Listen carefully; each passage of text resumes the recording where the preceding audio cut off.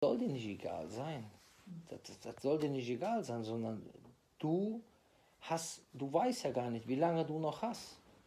Das kannst du nicht beeinflussen. Kann doch noch zehn Jahre, kann doch noch zehn Jahre dauern. Das weiß man nicht. Das, weißt du nicht. Das weißt du nicht. Das weißt du nicht. Kann doch auch noch zehn Jahre dauern. Gab schon andere. Du bist für 90 noch sehr fit.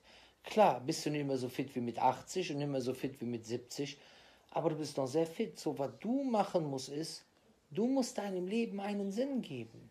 Wenn du den ganzen Tag hier sitzt und denkst dir, ach ja, alles so langweilig, alles so dies, alles das. Du musst das positiv sehen. Du musst dir sagen, guck mal, ich habe Freizeit.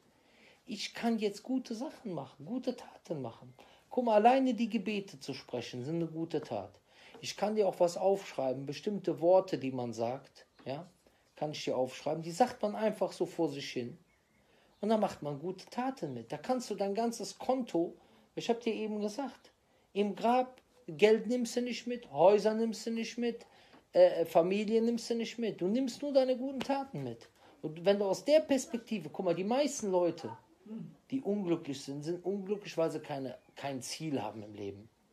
Wenn man sich aber Gott ergibt, hat man immer ein Ziel.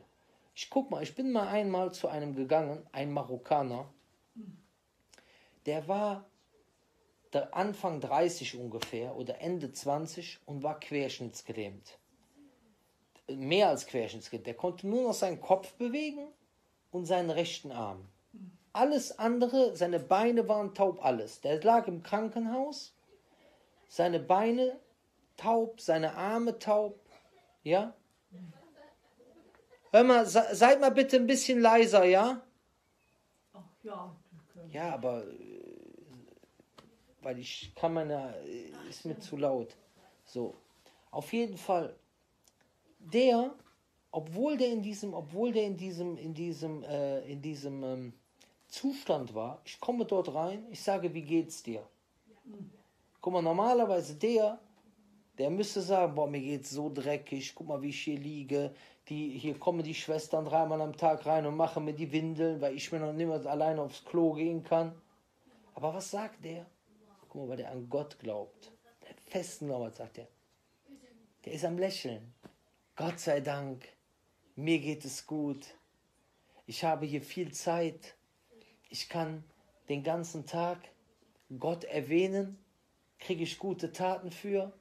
Und ich habe hier einige Blätter, einige Broschüren, die gebe ich den Besuchern und den Schwestern über den wahren Weg zu Gott. Damit mache ich gute Taten. Das heißt, dadurch, dass der das Bewusstsein hat, es hängt alles im Kopf zusammen. Du hast Leute, die sind reich, die können alles, die können hinreisen, wo sie wollen. Was machen die? Selbstmord. Boah, mir geht es so schlecht. Und dann hast du Leute, die, die, der liegt im Bett mit 30 oder so. Hat ganze Leben normalerweise noch vor sich. Der will keine mehr heiraten. Der kann ja sowieso nichts machen. Der kann ja nicht mal alleine aufs Klo gehen und liegt alleine irgendwo. Noch nicht mal seine Familie ist, glaube ich, in Deutschland gewesen. Irgendwo. Aber der sagt sich, okay, Dadurch, dass ich jetzt hier liege, kann ich auch keine Sünden machen. Guck mal, der dreht das mental um. Dadurch, dass ich hier liege, kann ich den ganzen Tag beten und machen. Und irgendwann müssen wir sowieso sterben. Das Leben ist sowieso nur ein kurzer Moment.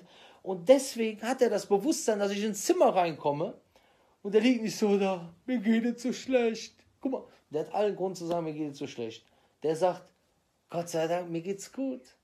Ich habe zu essen, ich habe zu trinken. Der guckt nur auf die po und hier, ich kann den ganzen Tag kann ich Dhikr machen. Dhikr, so nennt sich das auf Arabisch. Das heißt, Gott erwähnen. Aller Lob gehört dir, Gott. Du bist frei von allen, du bist der Größte und so weiter und so fort. Da kriegt er gute Taten für geschrieben. Und so, das ist das Bewusstsein. Bei dir jetzt beispielsweise, du hast gar nichts zu motzen. Dir geht es tausendmal besser als dem. Nur, du musst ja. diese Zeit, diese Zeit richtig nutzen.